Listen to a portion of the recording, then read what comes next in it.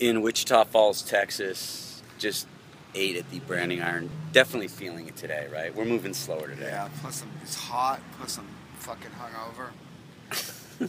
Dallas ripped me up, as always.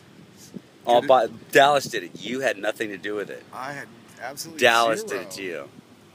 I'm not hungover, but I have no. Start with excuse. Tony, give me these crazy beers that were 10% alcohol. Really, beers are stronger in Texas. This one was like 10%. It's like more alcohol than wine. My uh, water it. was really strong, but it's we're hurting a little bit today. Just it's really hot.